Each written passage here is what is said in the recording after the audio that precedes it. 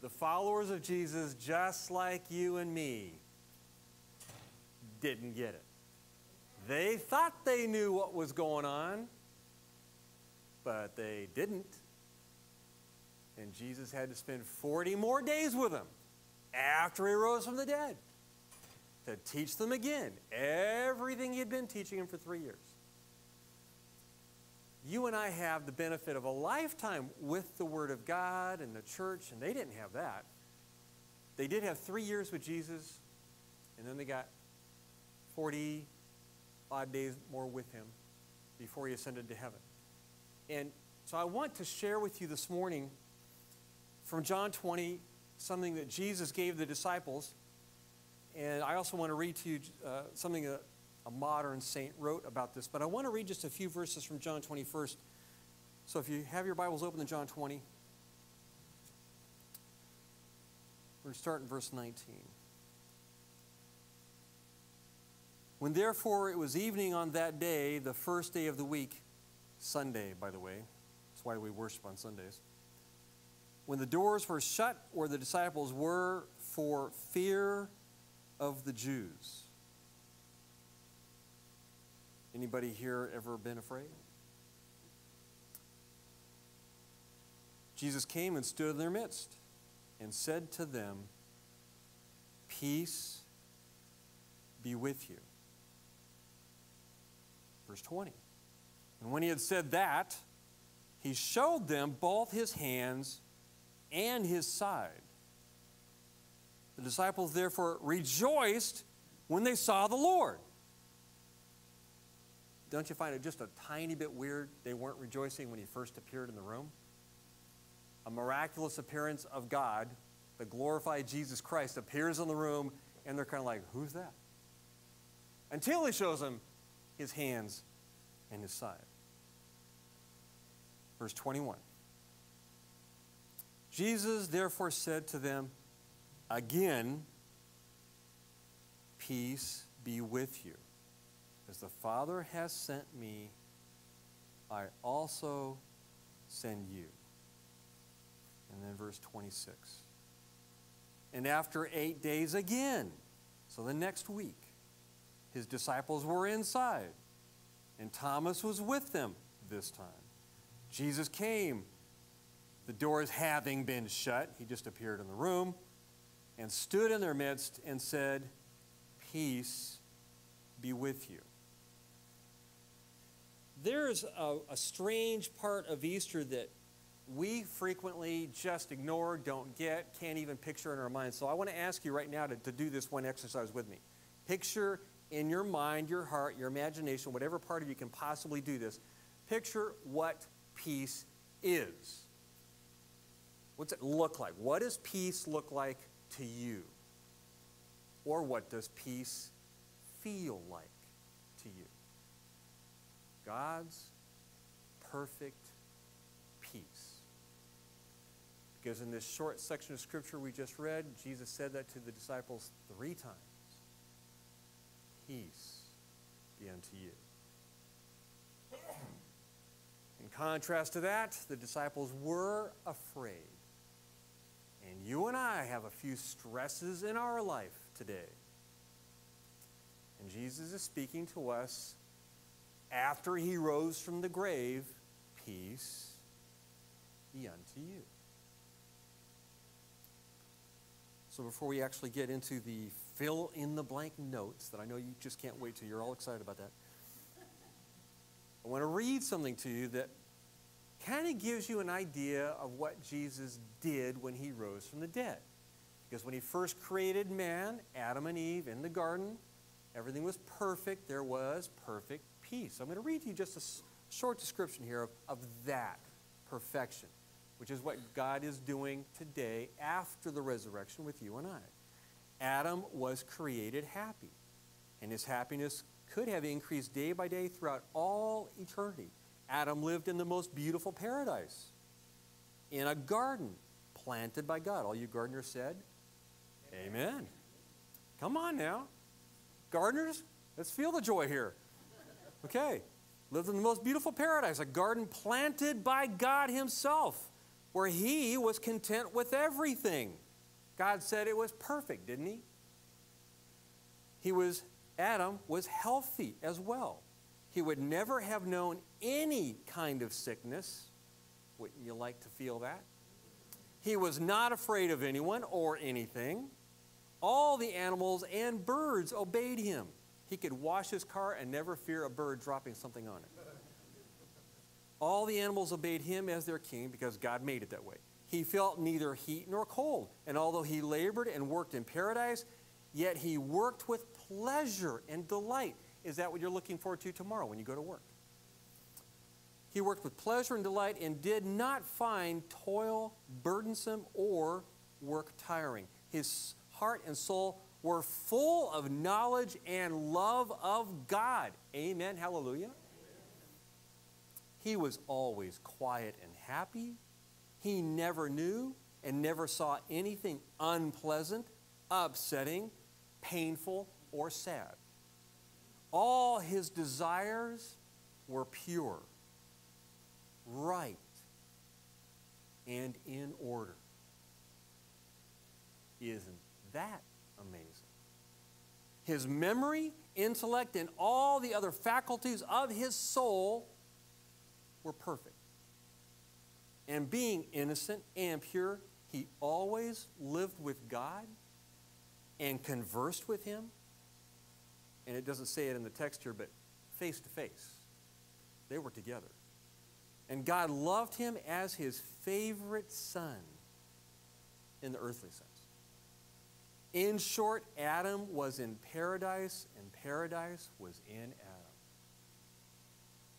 Peace was unto Adam. So when Jesus says to his disciples, Peace be unto you, peace be with you, that's what Jesus is saying. Is that a little bit different than the normal earthly version of that word? God did something different when Jesus rose from the dead, and the gift he gives to all who follow him is different than anything the world can ever give you. Because when God gives you his peace, it is something from God, not this earth. Amen is right. This is the reason to get excited after the resurrection, folks. God is giving you a miracle here that you've never seen. It's never existed on this planet since Adam sinned until Jesus rose from the dead. And he gives this free gift. We call it salvation, but that's not a big enough word, is it? It's this whole new reality of life in Christ that is being a new creation in a new paradise with God forever and ever. Amen. In His, not the world's, His perfect peace. That's a little bit different, isn't it? So, this fullness of peace that God is giving is making us to be holy, as in 100%, and holy, as in sanctified, set apart, perfect, without sin, in intimate fellowship and love with God, having everything you need to be filled with His joy. Is that the reality of your life at this moment? You have everything you need to be filled with His joy. The answer is yes. If you know Jesus, if you have faith in Him, you have all the riches of heaven. You've got everything. The same perfection God created to give Adam, He's now given you in Christ. Not this world. This sinful world is still a sinful world. But you have everything now in Christ. God's perfect peace is yours in Christ. And so in 2 Corinthians 5:17 he tells us what that you are now a new creation. The old creation Adam destroyed. When he sinned, he planted sin in the DNA of every not just the DNA of every person, his children, but uh, every molecule in all of creation. All of creation is under the curse of sin until God recreates it. And he's making you first. You are now a recreation, a new creation in Christ. That's what he says. If you have faith in Jesus. So you're a new creation. And this new reality means that while we get to live here on earth by faith in Jesus Christ, you are now God's child. You are now a royal priest. You are now God's holy ambassador from his kingdom to all the communities of this earth who are not currently in his kingdom. That's what Easter means. That's what the resurrection has done. You are now his child. And you know, you knew that, didn't you? Go, yes, and Jesus, I know I'm a new child. Yes, yes, yes, that's a good idea. But do you wake up every morning delighting in the fact you are his daughter, you are his son? God the Father is your father? Jesus said, I will never leave you. Heard a story this morning from a dad, I'm not going to name names, but a, a young dad, who woke up this morning with two of his kids in his bed. Actually, one in the bed, one on the floor next to the bed. Because the little kids in the middle of the night decided they wanted to be next to daddy and mommy. Beautiful picture, isn't it? And many of you who are parents, you experience the same thing. Wake up in the night, what are these kids doing in here? Jesus said, I will be with you always. Do we ever have any reason to fear if God is with us always? If nothing separates us from his love? If we are his child, he's our father. The world can be a messed up place all day long. But God's perfect. His love for us is perfect. Nothing separates us from his love. We're his new creation. When Jesus says, Peace be unto you, it's a whole different reality, isn't it? That's how we are to live consciously. We have a choice to make here. Because the world's always trying to grab our attention. And, and when the world grabs our attention, the peace goes right out the window. Have you noticed that? So we need to focus on the peace of Christ by focusing on Christ. That's the first stunning change that Easter gives us, the resurrection gives us, his perfect peace. And then look at John 20, 22.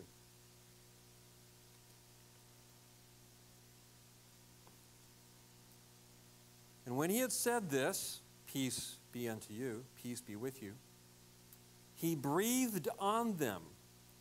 You need to picture God creating Adam in the garden. Because when God created Adam, he breathed life into him. Adam's life did not come from the dirt, it didn't come from evolving from any other animal, it came from God. And God, in Jesus Christ, breathed onto the disciples to give them new life. And he said, Receive the Holy Spirit. We are now recipients of the Holy Spirit. Your body now is a temple of God the Father, God the Son, God the Holy Spirit. How are you treating the temple? When I was in Turkey last summer, I saw lots of ancient ruins of temples to fake gods, all the Roman gods and Greek gods and just all the different idols. Lots and lots and lots of ruins, temples everywhere. When you look in the mirror in the morning when you're you know, doing your hair, brushing your teeth, you are looking at a temple that God has created in His image to be His temple where He is now dwelling. God the Father and the Son and the Holy Spirit now dwell in you. Because God said so, not because you made it so, God did. It's a God thing. So, how you treating the temple? Are you dwelling with Jesus physically, emotionally, spiritually, in your being? Are you consciously being present with Him? Because He's consciously being present with you. Or are you letting the world grab your attention? This new reality means that your literal physical body, as weak as you might be, with all the troubles you might have, some people have arthritis, some people have diabetes. I mean, there's all kinds of things that attack our bodies in this sinful world. but God the Father, Son, and Holy Spirit is in you, and He is doing a work in you. He is constantly transforming you into perfection and maturity in Christ. Now, what does this perfection look like? Turn to the book of Galatians, chapter 5. This is what God is doing, in contrast to what the world is doing. Starting in verse 18, if you are led by the Spirit, you are not under the law. If you read the first four chapters of Galatians, you see how God gave the law, the, the, Old Testament, the Word of God, to lead us to Christ, a tutor. But the law also condemns us under sin because it convicts us of all sin. So it's a tutor and it's a convictor. We're not under law if we're led by the Spirit. Now, the deeds of our flesh, that is, the part of our being that is physical on this planet and led prone to sin, the deeds of the flesh are evident, which are immorality, impurity, sensuality, idolatry. Kind of like the, the newspaper and the evening news all rolled into one, isn't it? Every day in this planet. And more idolatry, sorcery, enmities, strife, jealousy, outbursts of anger, disputes, dissensions, factions. Again, watch the evening news. Envying, drunkenness, carousing, and things like these, of which I forewarn you, just as I have forewarned you, that those who practice such things shall not inherit the kingdom of God. But in contrast to all the ways of the world and all the sins of this world, here is the work of God, the fruit of the Spirit that He is growing in every follower of Christ. Love, God's love, by the way, not just physical affection. God's holy love. Joy, God's joy. Peace, same peace Jesus gave the disciples. Patience, kindness, goodness, faithfulness, gentleness, self control. Against such things, there's no law. Now, those who belong to Christ Jesus have crucified, there's Easter. They've crucified the flesh with its passions and desires. If we live by the Spirit, let us also walk by the Spirit. The bottom line is God is making you His new creation day by day as we cooperate with. See, there's no such thing as a Christian who prays the sinner's prayer, you know, walks the aisle one time, raises the hand one time, whatever, you know, all the different traditions we have, without following Christ the rest of their life day by day, minute by minute. We cooperate with God in this process. He is doing this work. He's made you his temple. Now, what are you doing? Are you cooperating with this process by being led by the Spirit? And I'm going to make this entirely simple. All it means to be led by the Spirit is to say yes to Him in every decision you make and no to your sinful desires. That's what it means to say, I have been crucified with Christ. So that big honking cross we have on the wall there, that life size piece of wood that Jesus was nailed to at Calvary, He means us to live this lifestyle every day. So every day we crucify our sinful desires and we submit to the Spirit of God, which is love, joy, peace, patience, kindness, gentleness, self control, faithfulness, all of those things, right? All the fruit of the Spirit.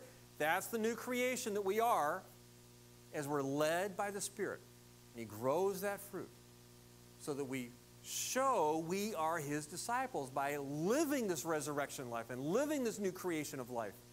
We're different than the world, folks, when we follow Jesus with crucified sinful desires, being led by the Spirit. Simply say no to your sinful flesh and yes to the Spirit. In everything, every decision.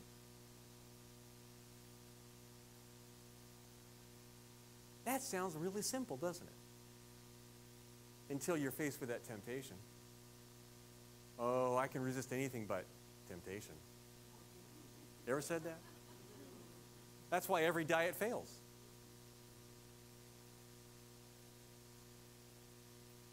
It's not a matter of fighting against that extra piece of chocolate cake, right?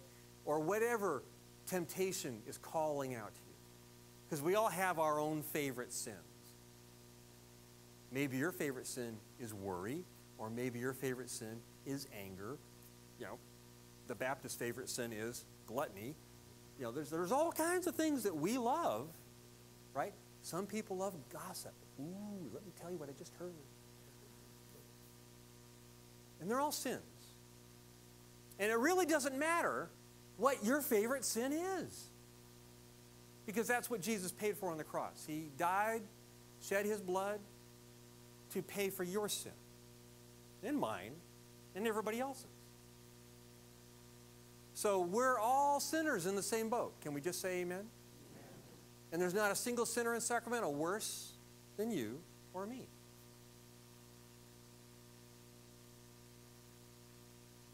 Just let that sink in. There's not one sinner in Sacramento worse than you, worse than me. But now we get to live led by the Spirit. Transform life, new creation. And the peace of God comes in. And God Himself comes in and He makes us new. That we experience the perfection that God intended us to all experience when He first made earth. And it was perfect. And He first made the garden. And it was perfect. And He first made Adam and Eve. And they were perfect. And God fellowship with them face to face. This is what God wants for us today. Amen? So, how do you produce this new life? You know, some of you are pretty creative. Some of you are quilters or gardeners. You, you like to create new things. You can sew, you can do art. All that's wonderful, awesome. But how you produce this new life? John 20, 31. Turn back to John.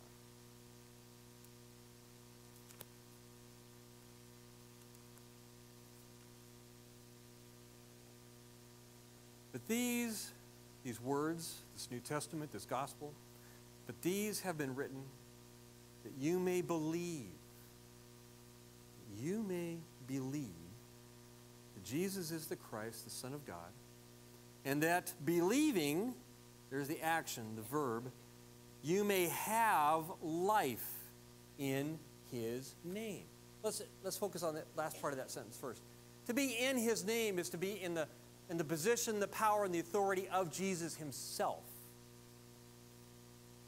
If the governor of, of Judea in Jesus' day gave you his signet ring so you could sign a contract in his name, he's giving his power and his authority, the full authority of his, of his office, to sign a contract in his name. So you just stamp that hot ink on the parchment or whatever the contract was written on, and that would suddenly be a valid contract with the authority of the governor. And Jesus is now giving you that. In his name means to be in Jesus, in his power, in his authority, with him. That's what it means. It's not just a, a, nice little tag we add to our prayers. You ever, you ever notice that? Some people do? They'll pray like for 13 hours and they'll say, in Jesus' name.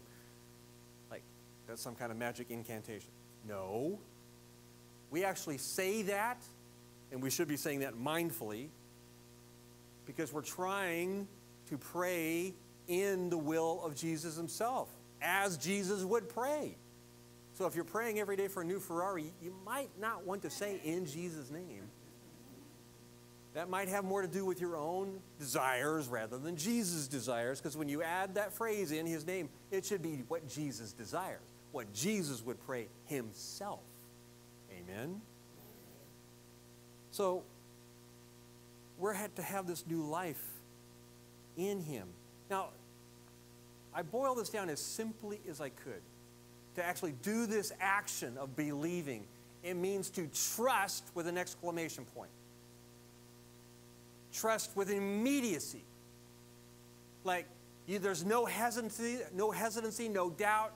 You don't waver, you don't hold back. You don't, you don't tell Jesus, oh, let me think about it. Even Thomas, when he doubted, remember the Apostle Thomas, when Jesus did show up in front of him and said, Here, go ahead and stick your hand right here in the holes in my wrists. Go ahead. You want to stick your fingers in my side? You know, where the spear went in? Go ahead. And Thomas didn't even try to touch him. He just fell down and said, My Lord and my God. No more doubt, no more wavering, no more hesitancy. So I, I want to ask you a question, and I don't want you answering me. I want you answering Jesus. Okay? This is between you and Jesus. Is there any place in your heart, mind, soul, any part of you that is hesitant, that is holding back? Is Jesus leading you in a way that you're like, mm, I'm not so sure, Lord?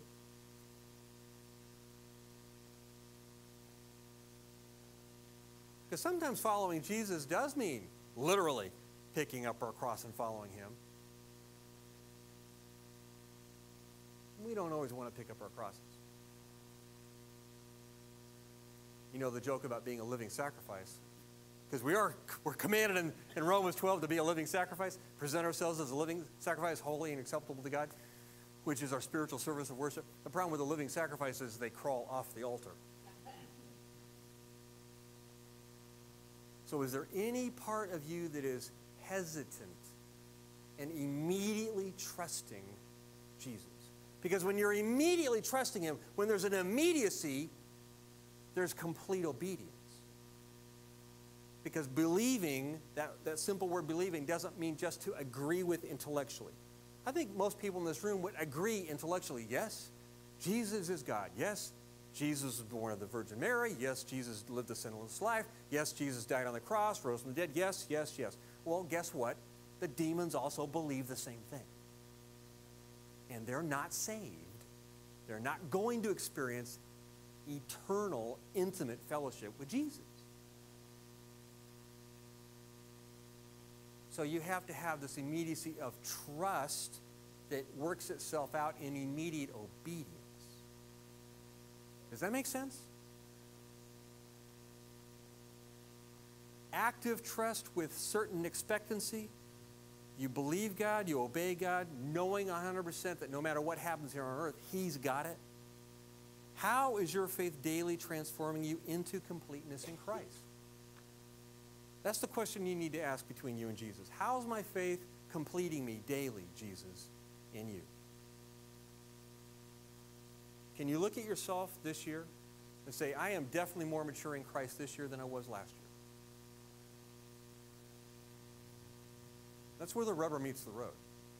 If you call yourself a gardener and the only thing growing in your garden is weeds, guess what? You really might not be a gardener. Now, we're laughing about that, but if you call yourself a Christian, what should be growing in your life? Christ likeness. So, is there more of Christ growing in your life? Is there more of the fruit of the Spirit growing in your life? Are the choices you're making the choices Jesus himself would make if he's literally standing next to you?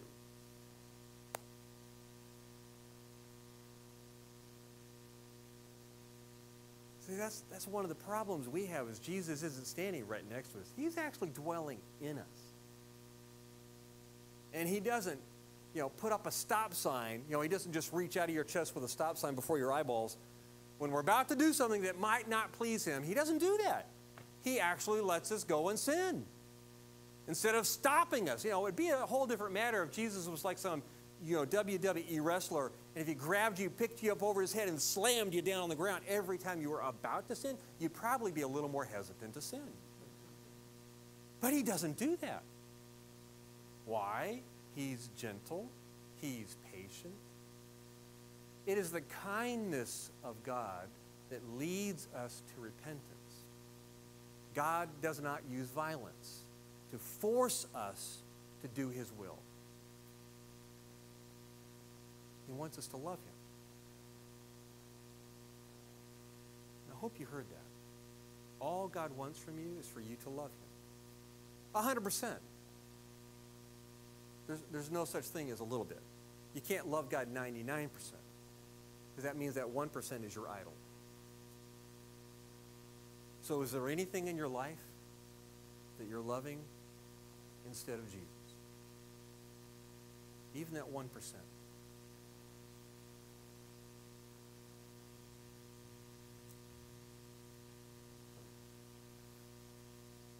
Do you want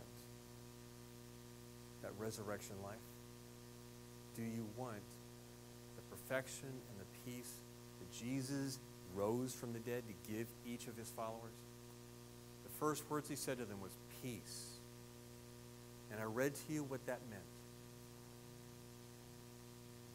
The paradise perfection of intimate love with Jesus that does not exist in this world. It exists in Christ. As we trust him, he makes it real in us and through us. And here's the amazing thing. If that isn't all miraculous enough, as you live this way, you are his blessing to others. And they experience God's peace through you. And it changes them because they are drawn to Jesus.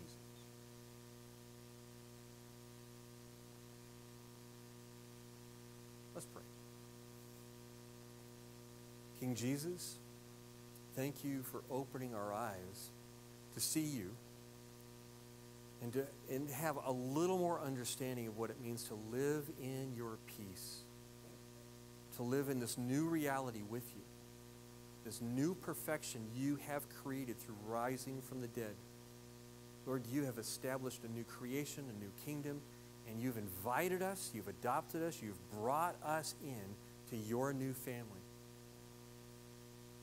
Lord, I pray for myself and everyone in this room that you will help us, please, today, tomorrow, and the rest of our lives, the rest of eternity, to walk with you in newness of life, to trust you 100%, to be led by your Spirit in all things, that we would know you and your perfect peace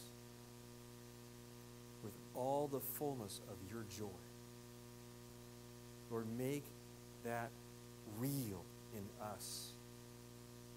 That we would bear your fruit. That we would be your blessing to all other people we ever meet. Lord Jesus, we pray this in your holy name and for your glory. Amen. God bless you.